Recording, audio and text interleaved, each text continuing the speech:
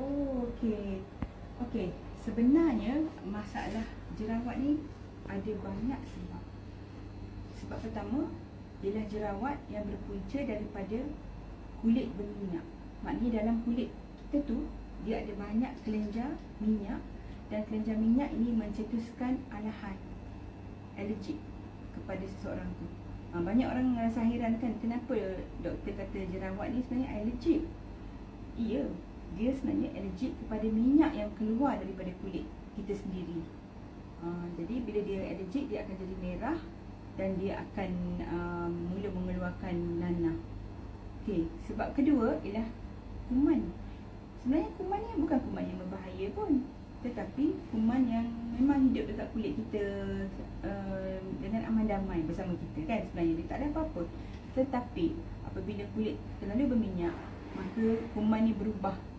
Dia mula menjadi lebih ganas dan dia mula membina nanah. Uh, dia mula menyerang kulit pula. Jadi uh, maknanya kita boleh kata uh, musnah selimut lah ni. Uh, dia sebenarnya baik tapi sebabkan kulit berminyak dia dah jadi jahat pula kan dia mula kena nanah pula. Okey, sebab yang lain adalah kerana kebersihan, faktor kebersihan.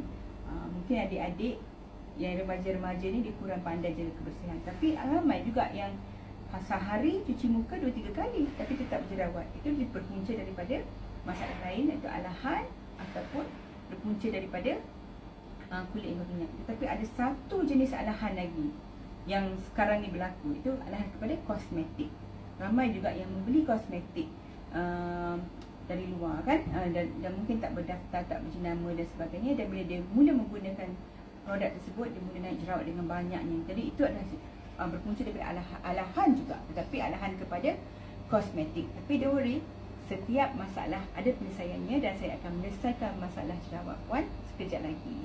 Okey, saya Dr. Rushmini so jika anda belum kenal dengan saya silakanlah untuk follow saya dekat TikTok. Um, the ah, ni dia. So, follow saya dekat TikTok dan saya akan menjawab segala soalan anda berkenaan kecantikan dan kesihatan. Kita jumpa kat TikTok.